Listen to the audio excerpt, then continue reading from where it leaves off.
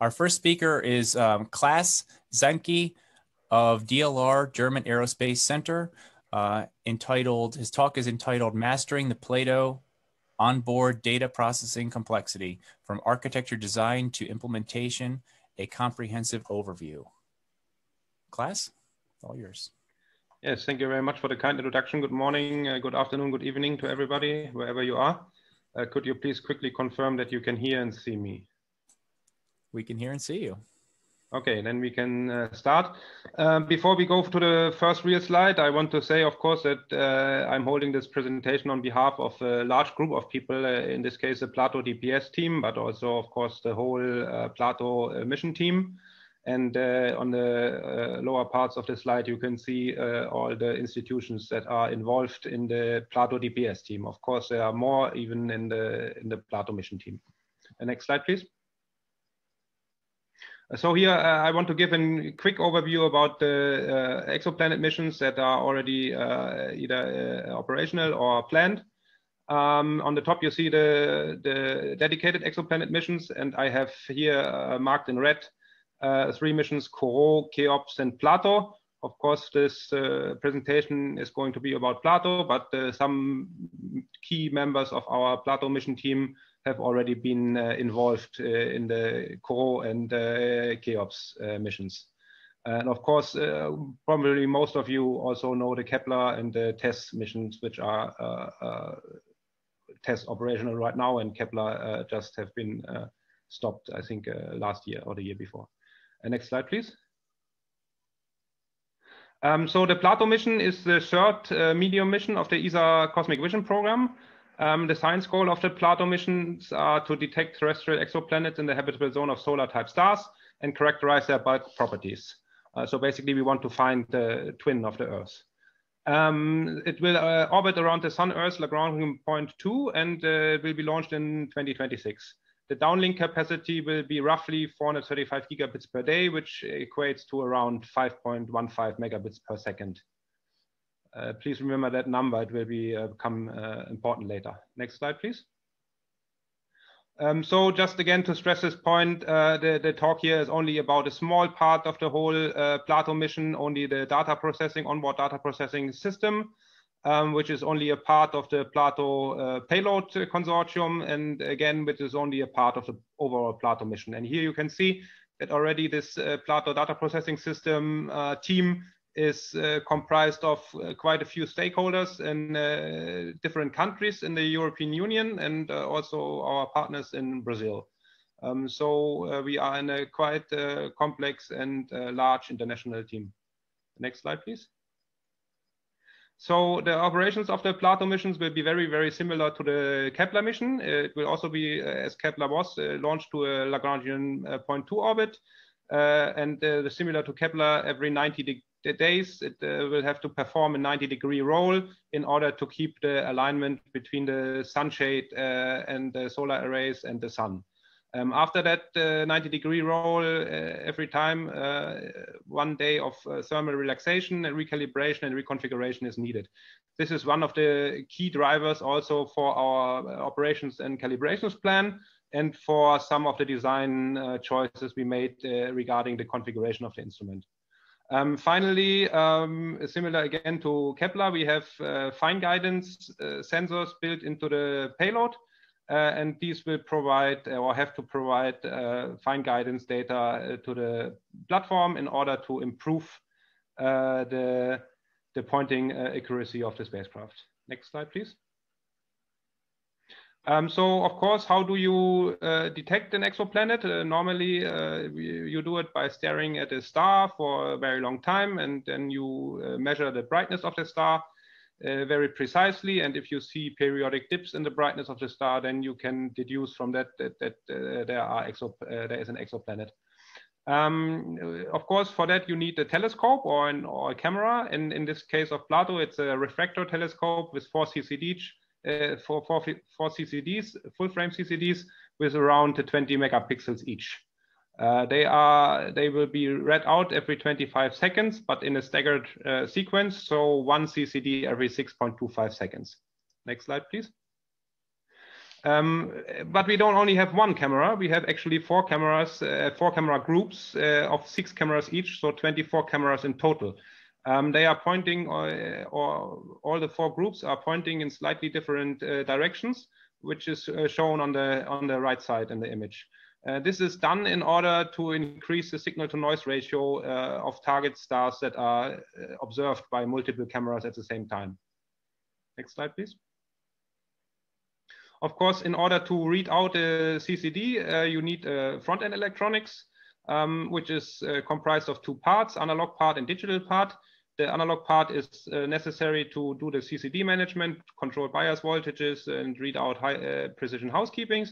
And the digital part, of course, uh, is, is, needed to send the digitized data to space via link to the data processing unit. So this is all done without software in the FPGA and uh, there's a also a small buffer for bu buffering the digitized pixels. The SpaceWire link towards the DPU is uh, operated at 100 megahertz, which results in a, a uh, bandwidth of 100 megabits per second. Next slide, please. Um, so one CCD is around 38 megabytes. And uh, 38 meg megabytes by uh, every 6.25 seconds uh, results in a data rate of roughly 50 megabit per second. This, of course, in a 100 megabit uh, uh, SpaceWire link is okay, um, but you still remember that we have uh, 5.15 megabits in total for the for the whole payload as a downlink. So clearly there has to be some data reduction going on here. Next slide, please. So how do we do this? It's again very similar to the Kepler mission. Uh, we have in the FEEs, we have a feature which is called the windowing, and that allows us to define uh, areas of interest for the CCDs. Um, we call them windows. They each have an XY coordinate and a height and a width. And uh, you can place up to 300,000 uh, windows per camera. Uh, and they, these windows can cover up to 10% of the whole CCD. So by this way, next slide, please you can actually reduce the data at the source because uh, when the CCD is read out, um, of course, you cannot not read out a pixel. But what you can do is you can discard immediately the pixels that you are not interested in. And then uh, the windows uh, which are placed on the CCD are uh, uh, serialized into a, into a SpaceWire packet in the way shown so that the windows are actually interleaved. This requires quite a high per computing performance in the DPUs later, but it's actually the only way you can do it. Next slide, please. So uh, in order to upload 300,000 uh, windows per camera, so 300,000 times 24 after each 19 uh, degree rolls, uh, it would require actually quite a big uh, uplink uh, bandwidth. So in order to avoid that, it was decided to calculate the window positions on board. So what, what you need for that is a camera attitude. So that can be configured by the telecommand a camera model that is also configured by telecommand, which includes uh, location of the CCD in the camera and, uh, and the focal length and, and, parameters like that. And then you need a star catalog of the uh, apparent uh, uh, position of the stars from your point of view. And if you have all of that, then you can calculate the position of the windows on the CCDs. Uh, and, and it has to be said that the star catalog is a common for all cameras, so you can actually save quite a significant, significant amount of the uplink uh, bandwidth. Next slide, please. Um, so now we are coming to the normal uh, data processing units, which are connected to the FEEs. Uh, every NDPU, uh, normal data processing unit, is uh, responsible for two cameras. Um, its main functions is the camera management and the science and data reduction. Oh, uh, the hardware is a two-core, uh, dual-core Leon 3 CPU, GR712RC. It has around, uh, or it has 256 megabytes of SDRAM, but no non-volatile memory. Um, the software that is running on uh, is uh, based on RTEMS 4.8, the ESA qualifiable version. Uh, yesterday it was said that uh, for uh, for in the future uh, the state of the art of today will be archaeological, but you can see that sometimes already the state of the art is archaeological. Um, the software that is uh, uh, implemented for the NDPU is done in a mixed C, C++ implementation based on a proprietary library from our partner Lesia. Next slide, please. So now I think it's a good uh, moment in time to show the full picture of the full instrument. Here you can see on the top the 24 cameras.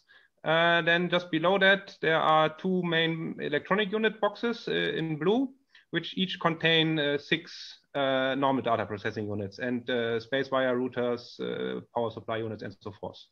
In between of those two, you can see the fast cameras and the fast electronic unit with the uh, two FDPUs.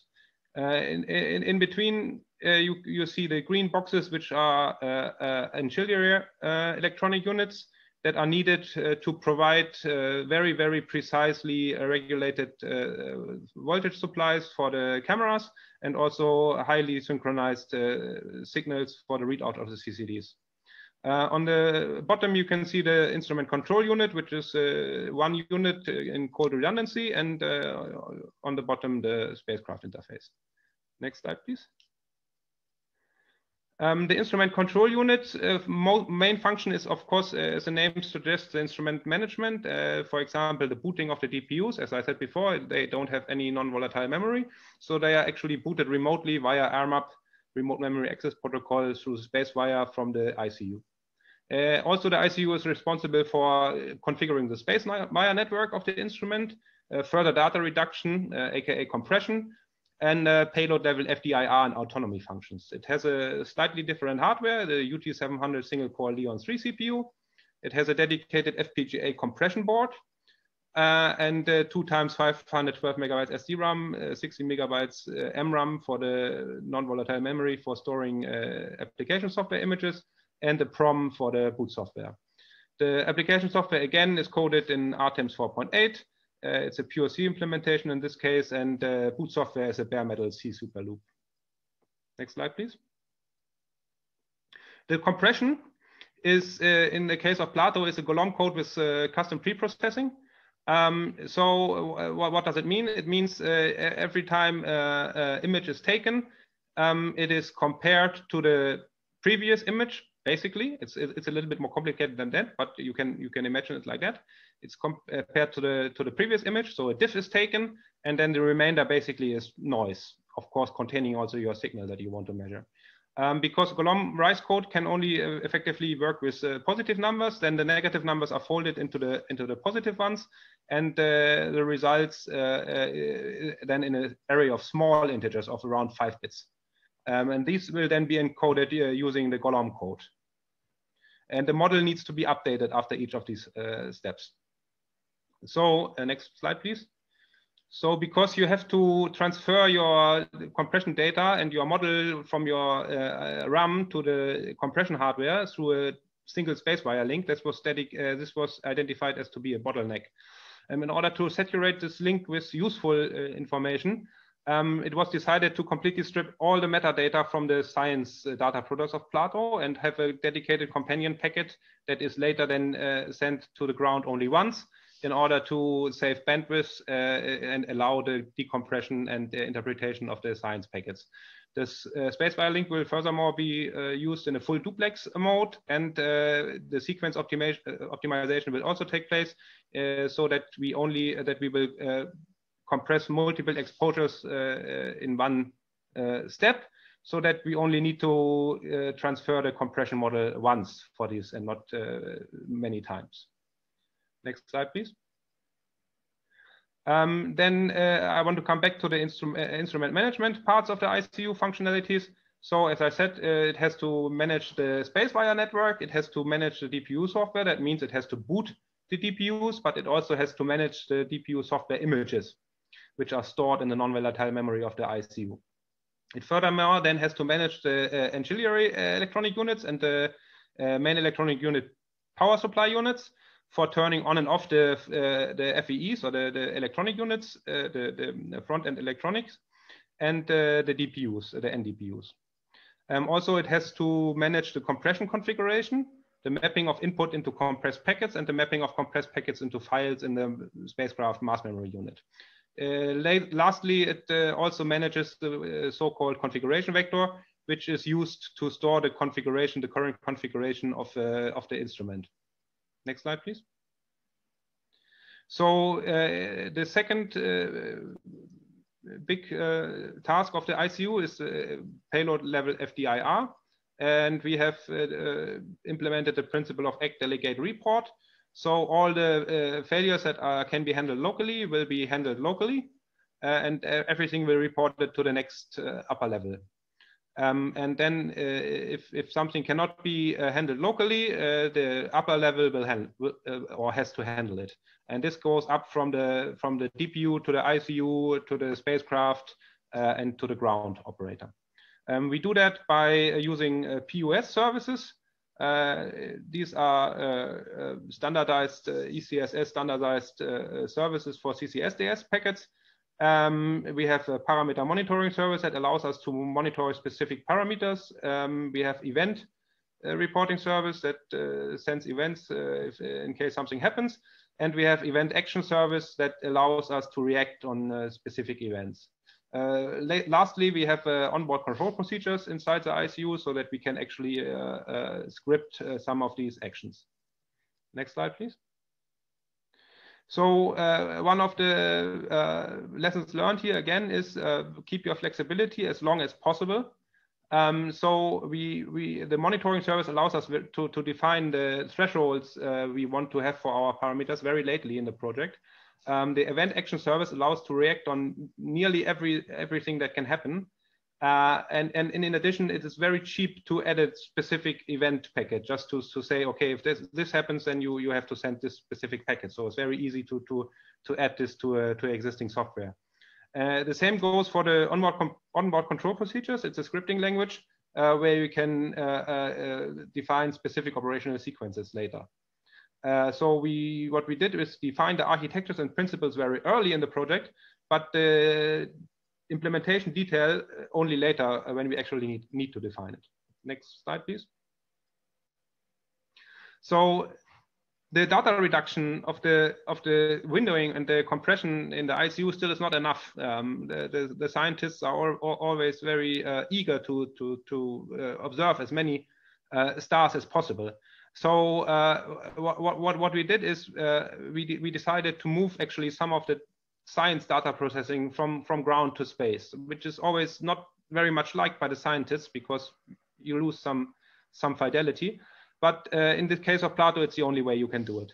So we have, uh, in addition to the to the to the windows, or, uh, uh, or how they are also called imagettes, we have two other data products which are light curves or, or flux values, and the centroids, basically the center of brightness of a star uh, re relatively to a, to a window.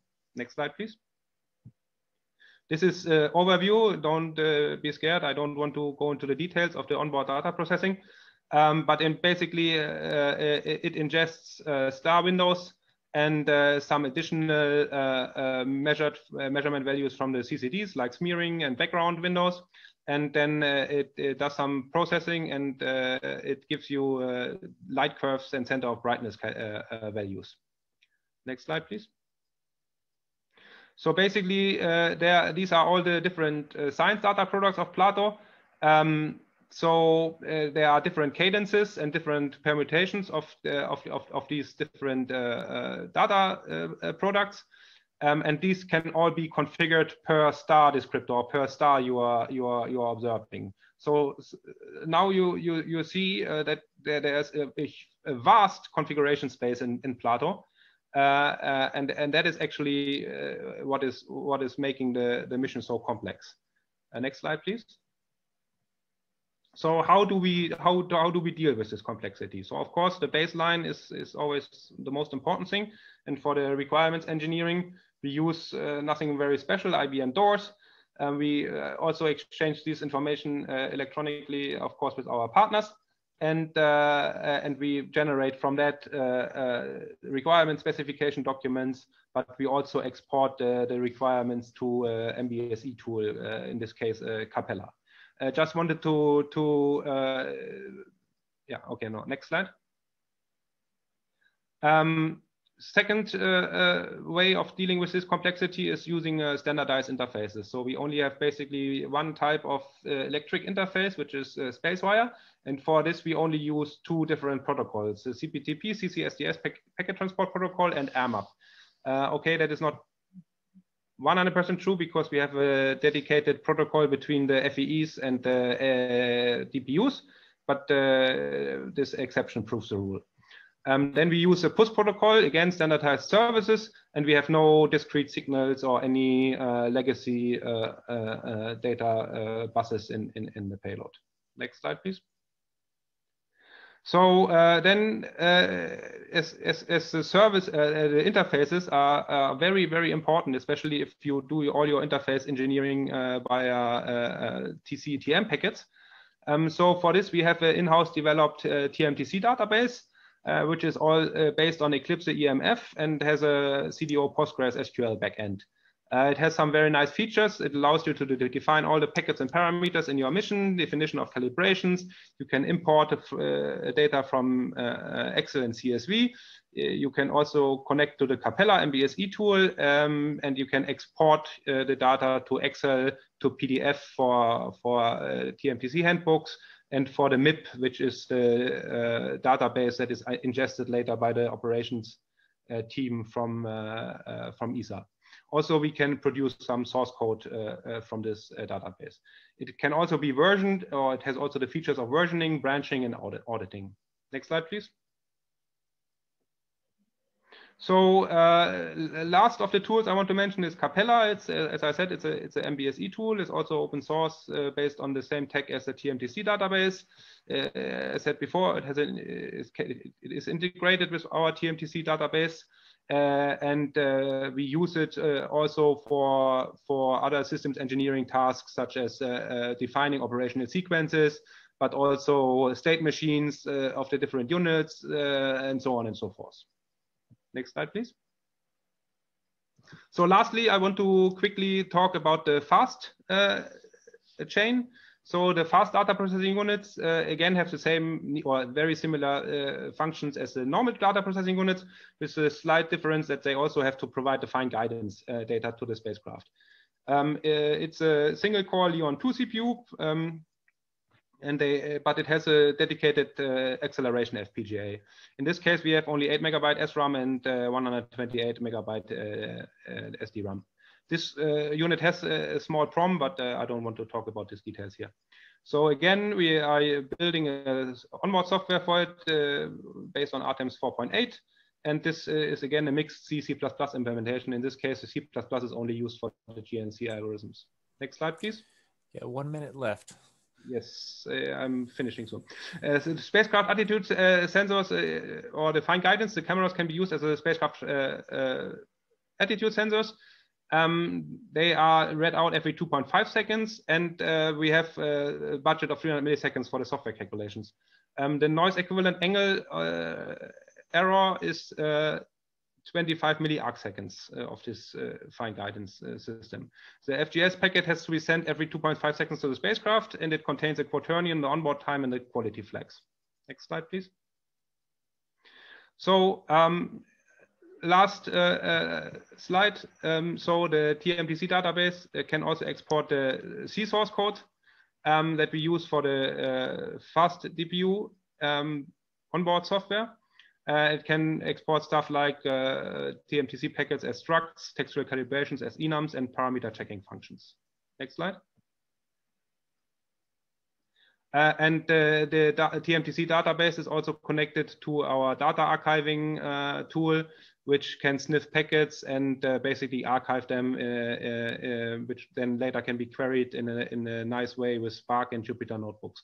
Uh, but uh, I don't want to go into the details here because I don't have time. And also I want to point to the talk we have, or the second talk we have on the morning of the 11th of February.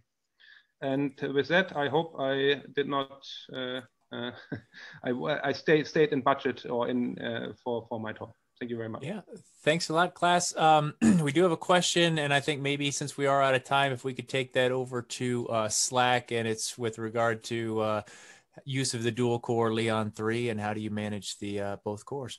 Yeah, um, uh, I'm very glad to answer all questions in Slack. Uh, uh and please uh, uh, allow me to say that, yeah, I tried to put too much stuff into 25 minutes talk. I was aware of that already before. I wanted to give an overview about the mission. So the mission is quite complex. So the only chance was to run.